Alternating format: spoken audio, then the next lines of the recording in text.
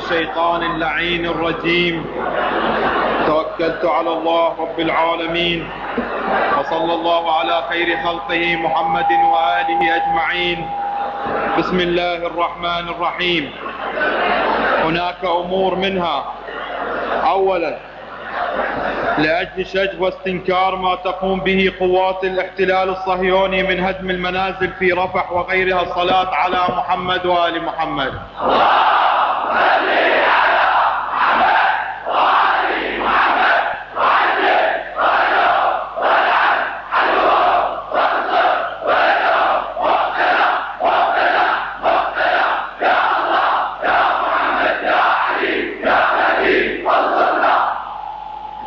لأجل شجب واستنكار العقوبات ضد الدولة الجارة العزيزة سوريا الصلاة على محمد وآل محمد.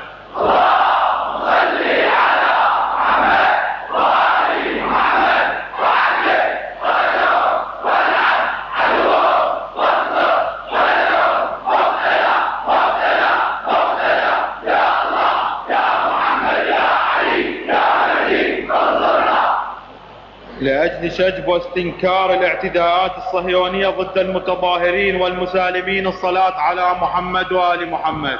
رابعا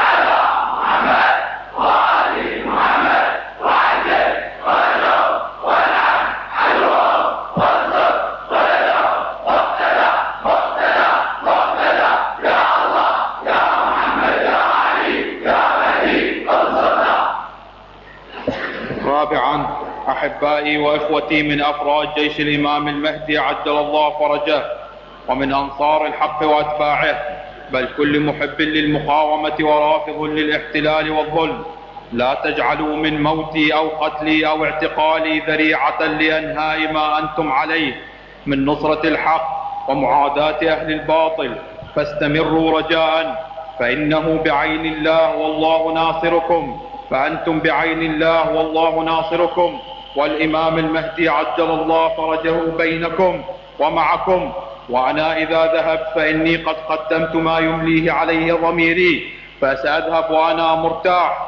وكما قال السيد الوالد قدس سره وكما أحيا السيد الوالد قدس سره الجمعات ولم يطيعوه إلا بعد سنوات فكذلك رفض الباطل ومقاومته.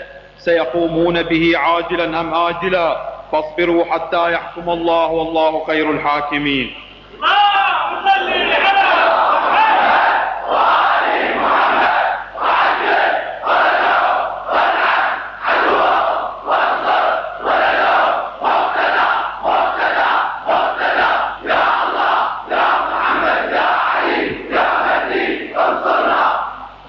أوجه كلامي إلى حوزة النجف الأشرف. حوزة أمير المؤمنين سلام الله عليه ووصي رسول رب العالمين. وأقول لهم ألا يمكن صدور موقف موحد منكم؟ مراجع وأفاضل وأساتذة وطلاب علم. كما اجتمع إخواننا أهل العلم والتقوى في قم المقدسة تحت لواء قائدهم دام ظله. وجزاه الله خير جزاء المحسنين.